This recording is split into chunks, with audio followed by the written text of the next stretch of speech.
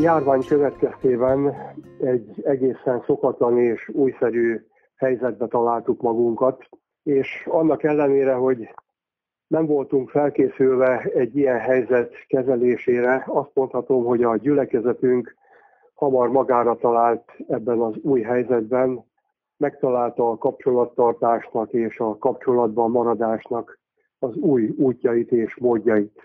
Felélénkült a gyülekezet tagjai között a telefon és internet általi kapcsolattartás.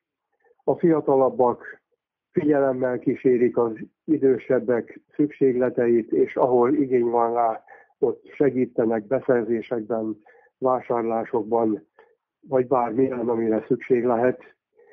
Megnőtt azoknak a száma is, akik otthonukban ugyan, de bekapcsolódtak az este 7 órás ima közösségeinkben, és ez az új helyzet ránk kényszerített bennünket arra, hogy elkezdjük digitális módon közvetíteni az Isten tiszteleteket, sőt az utóbbi vasárnapokon már a gyermek Isten tiszteleteket is, amely a YouTube csatornákon, a honlapunkon keresztül a biairev.com-on át elérhető bárki számára, és úgy tapasztaljuk, hogy a gyülekezet tagjai szívesen élnek is ezzel a lehetőséggel.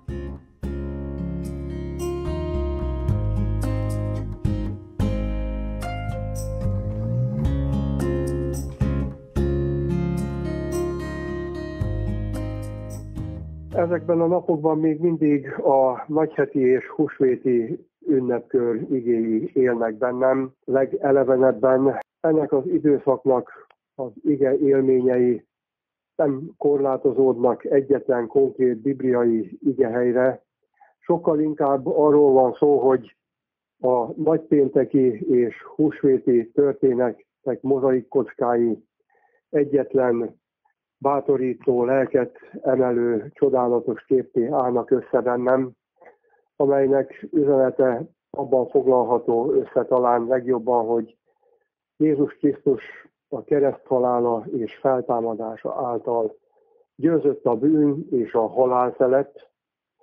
Jézus Krisztusban egy győzelmes, élő urunk van, akiből minden nap erőt, új reménységet meríthetünk, és akinek a védelmében tudhatjuk magunkat testestől, lelkestől, egy ilyen időszakban ez különösen is fontos dolog lehet a mi számunkra. Nagyon örömteli dolog ezekben a húsvéti történetekben azt látni, hogy a feltámadott Krisztus hogyan keresi fel a szomorú tanítványait, hogy feltámadásának a megbizonyítása által kiszabadítsa őket a félelmeikből, kiemelje őket a csüggedésekből, a depressziójukból, biztosítsa őket a szeretetének a változatlanságáról, és hogy nyilvánvalóvá tegye számukra, hogy ő legyőzte a halált, hogy mindennél hatalmasabb. A tanítványai köréhez tartozók közül több szemét fölkeres még a feltámadás napján személyesen is.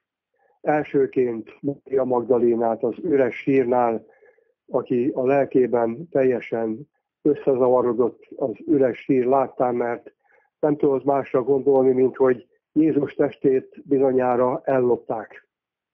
Ezután azoknak az asszonyoknak egy kis csoportjával találkozik, akik az örömtől és a megdöbbenéstől szinte magukon kívül futnak hazafelé a sírtól, hogy beszámoljanak az ott tapasztaltakról a tanítványoknak.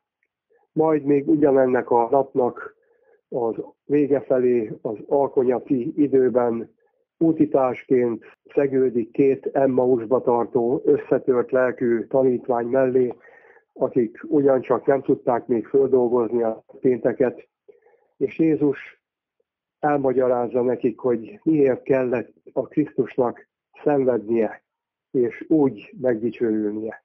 És végül pedig még aznap este megjelenik a félelem miatt zárt ajtók mögött együttlévő tanítványai előtt, hogy békesség néktek köszöntéssel üdvözölje őket, a szívükből kivegyen minden félelmet, kételkedést, szomorúságot, és örömre változtassa mindezt.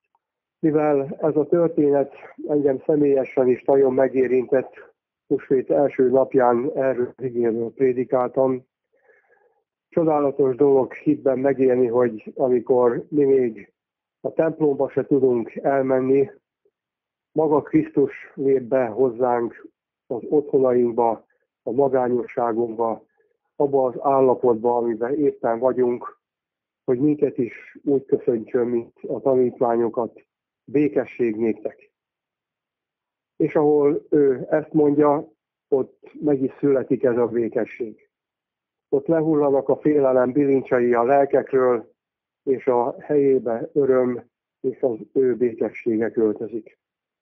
Külön ok a hálára, hogy a Krisztussal való lelki találkozása nem csak az ünnepnapokon, hanem a hétköznapokon is minden pillanatban lehetőségünk van, és én kívánom mindenki számára ennek a megtapasztalását. Mm.